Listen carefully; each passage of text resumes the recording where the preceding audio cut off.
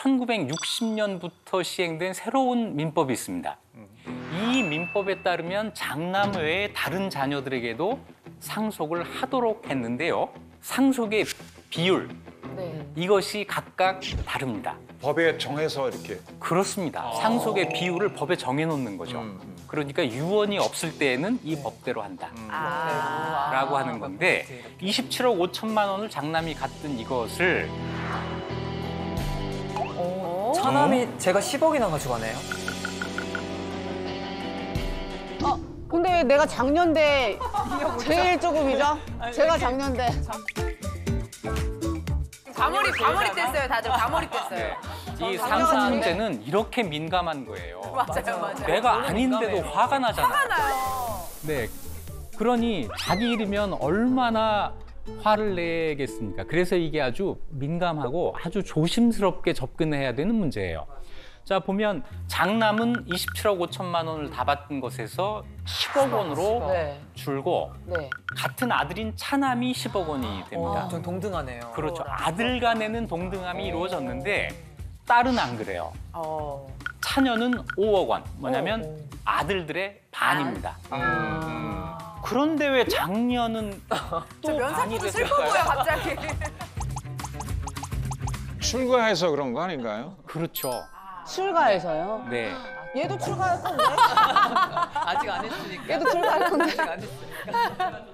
출가한 딸에 대해서는 아들의 4분의 1. 이래서 10억 원, 2억 5천만 원, 5억 원, 10억 원 이런 차이가 생기게 되는 거죠. 결혼 안 하는 게 낫겠네요. 네. 아들 간의 차이는 해소됐으나 네. 아들 딸의 차별은 여전하고 특히 결혼한 딸에 대해서는 더 가혹하다. 너무 차별이 심한데요. 이거죠. 심하죠. 잘못됐죠. 다시 고칩니다. 그래서 1979년에 고친 것을 보면 그래, 또? 시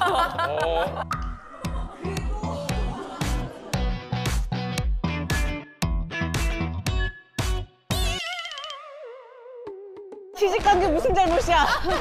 그렇게 시집을 왜 가셨어요? 은지야 너 자산이 늘었어. 그러니까요. 똑같아요. 버텨봐야 돼, 네. 버텨봐야 돼. 자 장남과 차남이 같아졌죠. 네. 뭐가 달라지죠? 차녀가 차녀. 달라집니다. 그러니까 결혼하지 않은 딸은 아들과 같은 권리를 인정한다예요.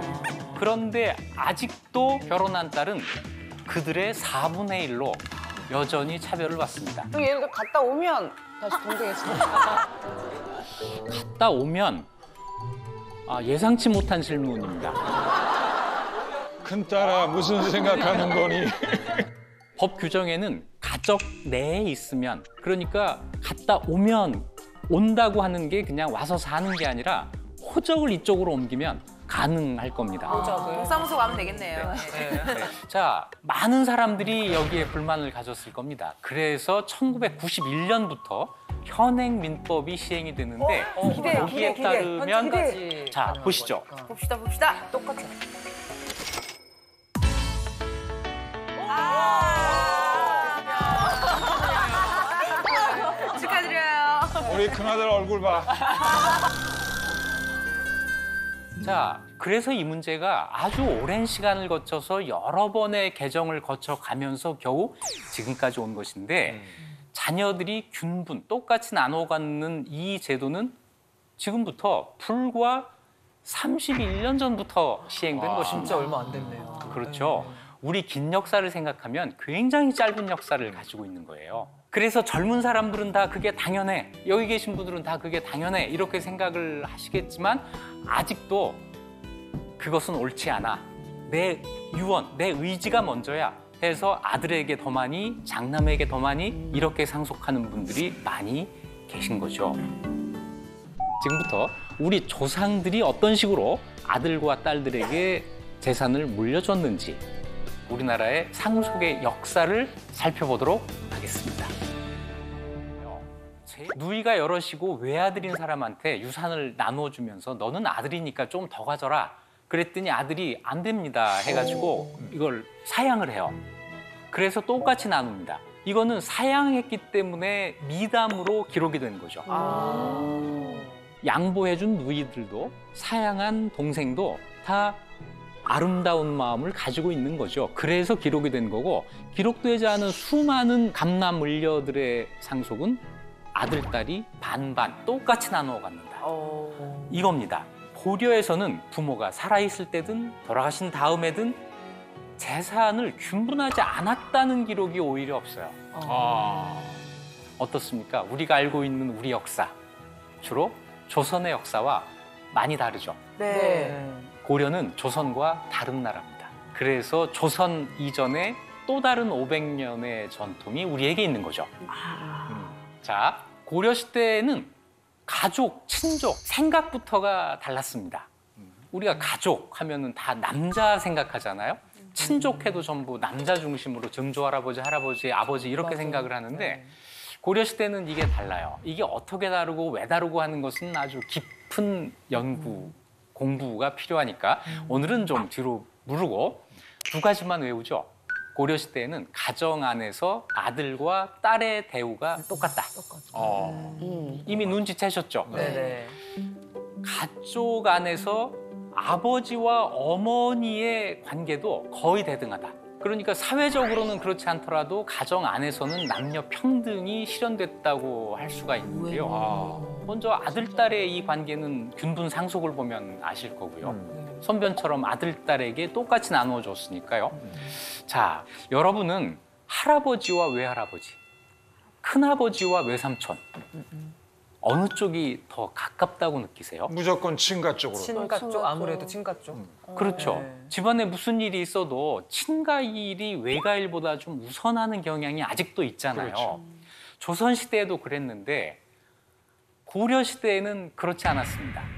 우리 벌써 말할 때도 친가, 외가, 친 좀 가깝고 외 네. 바깥이고 네. 벌써 말로 구별을 하잖아요. 네. 사실은 친가란 말은 안 해요. 이건 그냥 있는 거고 이게 바깥이라고 생각을 하는 거죠. 자, 그런데 고려 시대에는 이 말 자체가 없어요.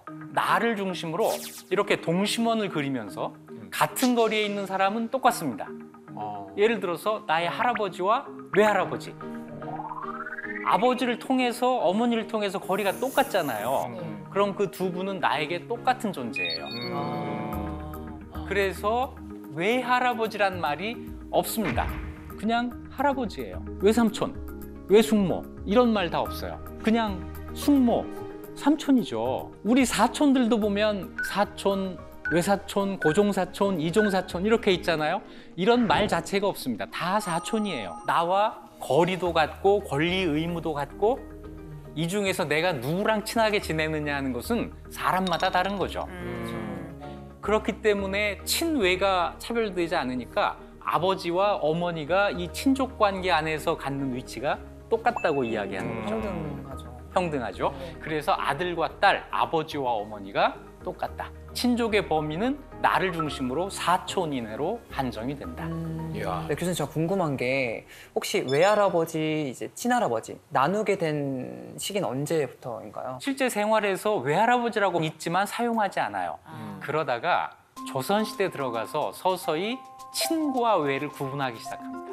외가 등장하고 외할아버지, 외삼촌, 외숙모 이런 말들이 이제 쓰이기 시작하는데 일상적으로 쓰인 시기는 생각보다 굉장히 느려요.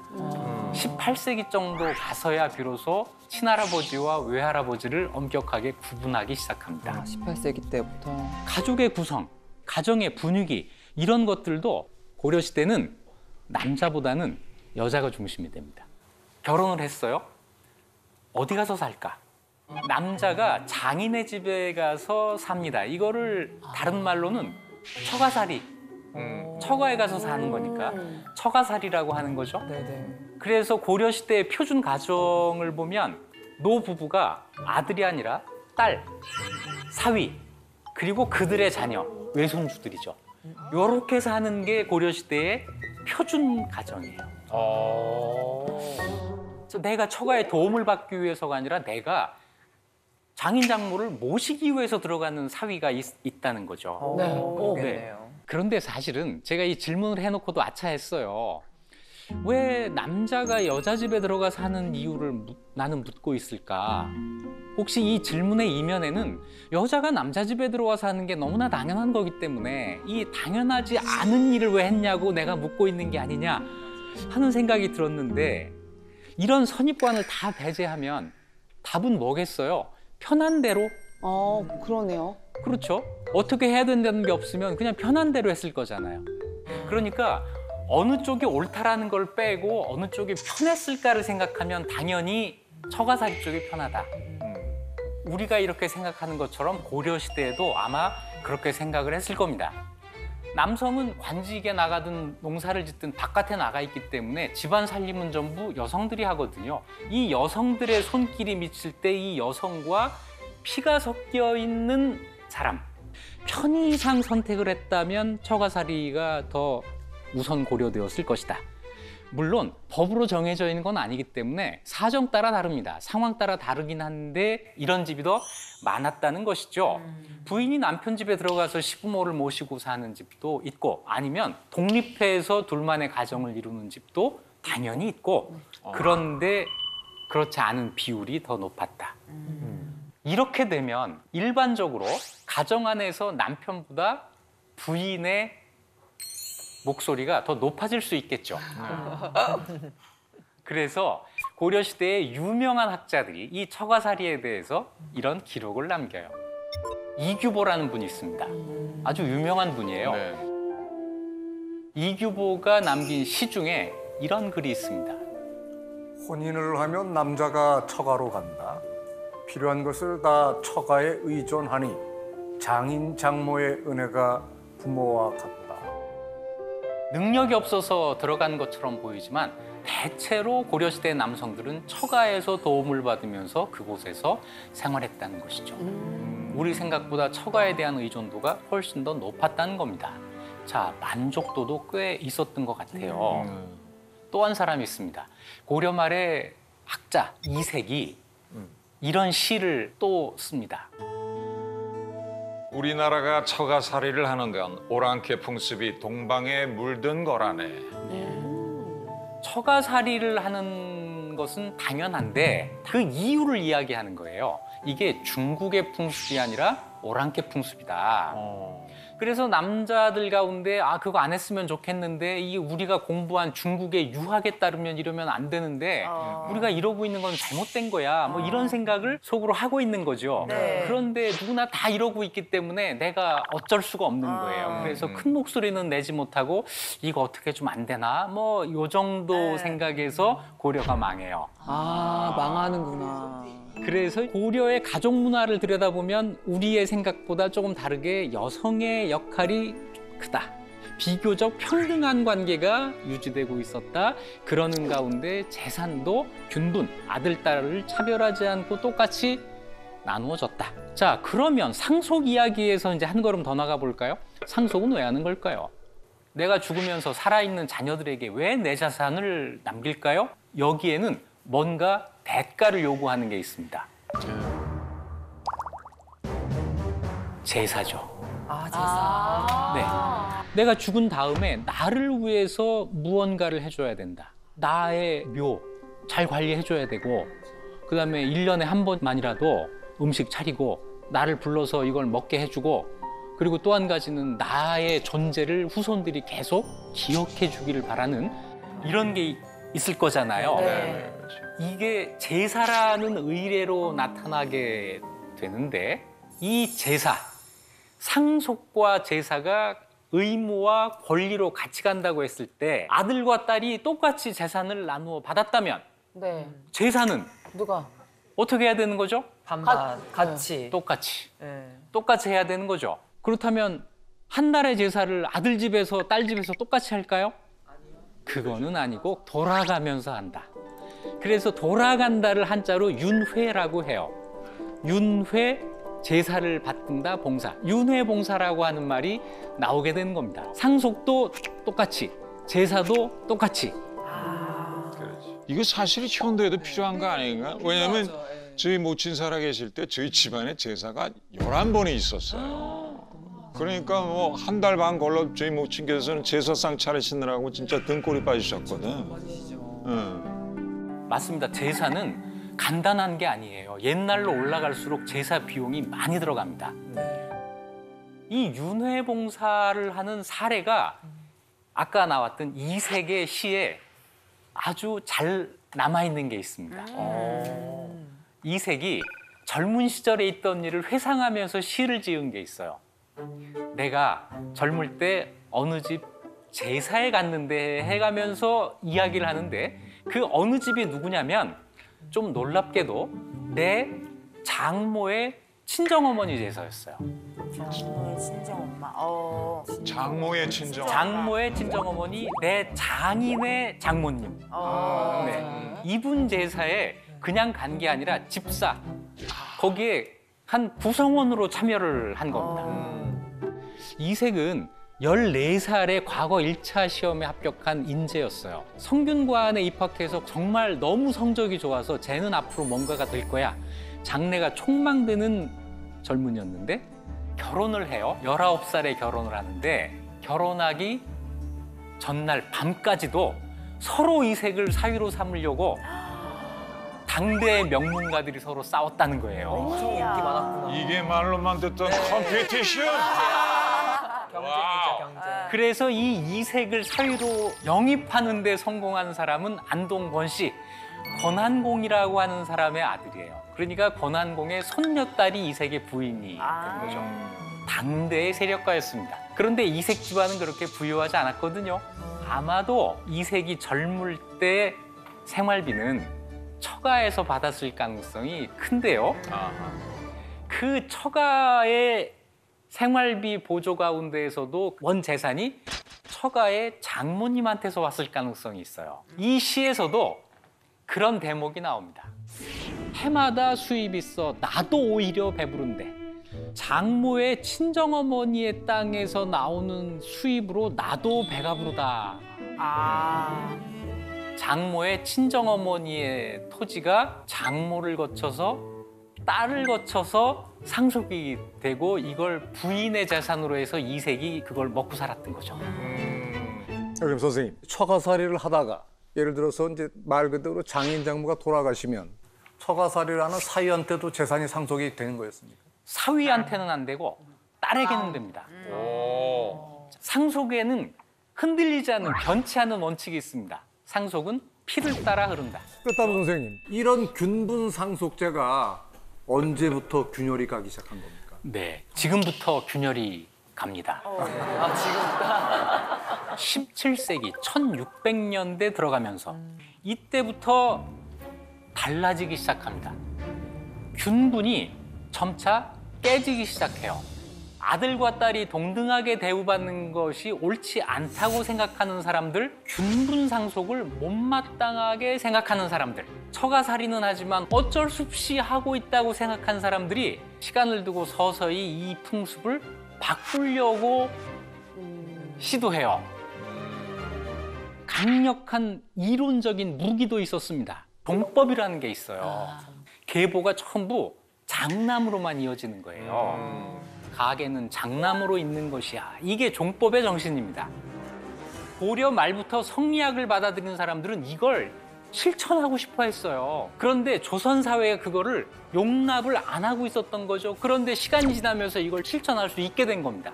그래서 종법을 무기로 해서 서서히 남녀 차별 상속 이거를 시도해 가요.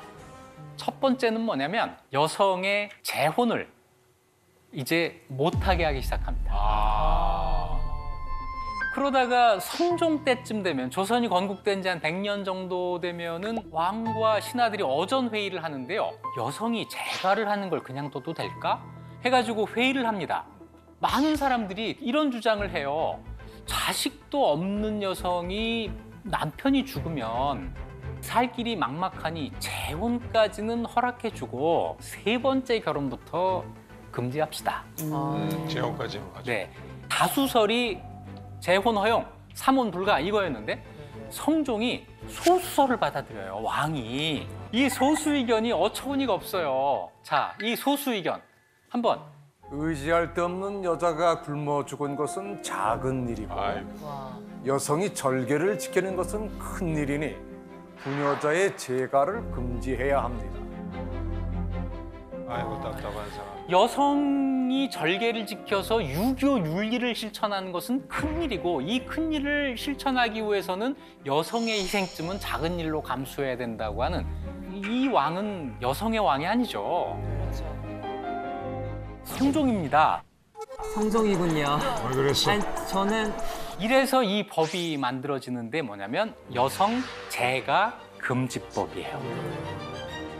그래서 여성들이 재혼을 못하게 되면서 가정 안에서 남편과 부인의 관계가 심하게 무너지게 됩니다. 그 다음에 손댄 게 뭐냐면 처가살이 전통을 없애는 거예요. 종법에 따르면 처가살이는 하면 안 되는 거거든요. 이제 친형이라고 해가지고 부인이 남편 집에 들어가서 사는 이걸 보급하기 시작합니다. 잘 안 되니까 이번에는 성종의 아들 중종이 나서요. 내가 직접 모범을 보이겠다 해가지고 친형의 의식을 행하고 내 아들 결혼, 세자의 결혼에서도 친형의 의식을 행하고 앞으로 모든 신민들은 이것을 따라서 하도록 해라. 이러면서 이제 전국으로 이게 퍼져 나가는 거죠. 전국으로 퍼져 나가다 보니까 어떤 일이 생기겠어요? 여성이 결혼한 다음에 자기 집을 떠나 살게 되는 일이 생기죠. 이제 친정 부모의 제사를 지내기가 어려워지잖아요. 그러면서 윤회 봉사를 안 하겠다. 딸들은 제외시키겠다. 아들들끼리 할 거야. 이런 집안들이 나타나기 시작하는데 1669년에 부안 김씨 집안에서 작성한 상속 관련 문서입니다. 사위와 외손들한테 제사를 지내라고 하면은 소홀하게 지내더라. 그래서 사위나 외손의 집안에서 제사를 윤행하지 않는 것을 우리 집의 법으로 이렇게 할 것이다. 라고 하면서 제사를 안 지내는데 어떻게 토지와 노비만 남자와 균등하게 받을 수가 있느냐 하면서 여자는 딸은 토지와 노비를 3분의 1만 주겠다. 라고 선언을 하는 겁니다. 균분이 아주 공식적으로 깨지는 거예요. 네. 주로 17세기 후반에 가서 이런 일들이 벌어지죠. 그래서 아들들이 딸들에 비해서 받는 재산의 규모가 두 배에서 세 배 정도로 점점 늘어나는 거예요. 그러다가 결국에 가서는 딸에게는 상속을 전혀 하지 않는 일이 벌어져요. 아이고. 하나의 추세가 되니까요. 여기서 나오는 말이 있죠. 출가 외인이라고 하는 말은 이때 비로소 생긴 말입니다. 원래 있던 말이 아니에요. 남존여비 사상도 그럼 이때부터 당연히 그렇습니다. 또 그런 말 있지 않습니까? 겉보리 서말이라도 처가살이 하랴. 더 심한 말도 있어요. 화장실과 처가는 멀수록 좋다. 좋다. 이거요 전부 이때 이후에 생긴 말들입니다. 아. 균등이 무너졌잖아요. 네. 차별이라는 게 들어오잖아요. 네. 처음에는 딸을 차별합니다. 그러면 그 다음엔 그 차별은 누구를 겨냥할까요? 장남과 차남 이하를 또 차별해요. 이런 일이 18세기 넘어가서 아들 둘, 딸 하나가 있는 집안에서 재산을 나누는데 보시면 이 표에 딸은, 딸은 없네요. 따로. 딸이 없잖아요. 네. 안준 거예요. 안 주고 아들 둘이 나눠 가졌는데 장남과 이남, 차남의 재산 규모를 보면 노비는 거의 같지만 논밭에선 2대 1 정도의 차이가 벌어졌죠. 더 벌어져요. 봉사, 저거 제사 비용, 이것도 장남 몫이거든요. 자, 18세기 들어가면 어떤 현상이 일어난다? 장남에게 집중해서 상속하는 일이 벌어진다. 놀부와 흥부. 이때 사람이에요. 둘이 왜 그렇게 잘 살고 못 살죠? 부모의 재산을 형이 독차지했기 때문에 그렇잖아요. 자, 이쯤에서 왜 그랬을까? 왜 그랬을까를 생각해 볼 필요가 있죠. 균분 상속은 재산을 계속해서 늘리지 않는다면 상속될 때마다 줄어들어요. 네. 일곱 남매한테 상속하면 7분의 1씩으로 쪼개집니다. 네. 아, 그렇다면 재산이 쪼개지는 것을 막기 위해서 한 사람에게 상속을 해야 되겠구나. 이 생각을 하겠죠. 네네. 그럴 듯하죠? 네. 그런데 말입니다. 그런데 말입니다. 이런 현상은 조선 전기에도 있었어요. 조선 전기에도 균분 상속을 하면서 다 쪼개졌잖아요. 근데 그때는 묶어서 장남한테 줄 생각을 안 했습니다. 그런데 왜 이때 이 사람들은 그걸 불안해하고 장남한테 몰아주려고 했을까요? 여기에 역사성이 있는 거죠. 그 시대의 성격이 있는 겁니다. 조선 전기까지는 내 재산이 분할되어도 사회적으로 양반으로서의 내 지위를 그대로 유지할 수 있다는 믿음이 있습니다. 그래서 어떤 위기감, 불안감 같은 걸 갖지 않아도 됐는데 17세기 후반에 가면은 양반들의 사정이 녹록지가 않았습니다. 17세기 후반 조선의 경제가 비약적으로 발전하는 시대예요. 역설적이죠. 경제가 발전하는데 양반들은 위기감을 느낀다? 왜? 경제 발전의 주체가 양반이 아니었던 겁니다. 그러다 보니까 신분제도 막 해체돼 가지고 노비들이 양인이 되고 양인이 양반이 되고 막 이런 일이 벌어지고 있는데 사회의 변화에 양반들이 제대로 대응하지 못하면서 믿을 거라고는 조상한테서 물려받은 이 재산밖에 없는데 이 재산이 쪼개져 버린다면 어때요? 이 정도면 절박하죠. 네. 이래서 몰아주기 시작한 거예요. 몰아주면서도 끝내 명분을 놓치지 않았어요. 중국 고대의 가르침, 종법. 우리는 이것을 실현하는 거야. 라고 생각을 하죠. 유명한 다산 정약용이 이런 말을 합니다. 법 제정하기를 이렇게 하였기 때문에 왕자 대군의 집, 원훈 대연의 집, 국구 부마의 집, 대신 정경의 집이 몇 대를 넘지 못해서 그 본종이 미약하여지고 또 몇 대를 지나면 제사 향부를 잊지 못해서 가문이 그만 없어지게 되니 모두 법을 제정한 것이 잘못되어서이다. 이때 잘못 제정된 법은 조선 초에 만들어진 경국대전입니다.